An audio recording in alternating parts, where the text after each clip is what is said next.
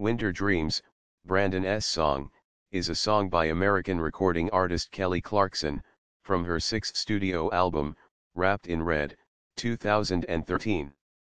A slow-tempo Christmas neo-jazz pop song, Winter Dreams features a 50-piece chamber orchestra conducted and arranged by film composer Joseph Trapanese. Its lyrical theme mainly depicts love and escapism during the holidays, in which Clarkson sings about spending her first holiday with Blackstock, whom the song is also dedicated. Unlike the deep lyrical themes of Every Christmas, in which she refers to her life before meeting Blackstock, Clarkson had described Winter Dreams with a lighter fare, referring to it as her holiday life after meeting him.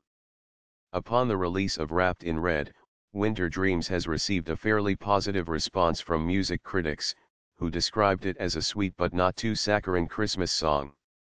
Along with other tracks from the album, it entered the Billboard Holiday Digital Songs chart as an album cut at number 12 on the week ending November 16, 2013.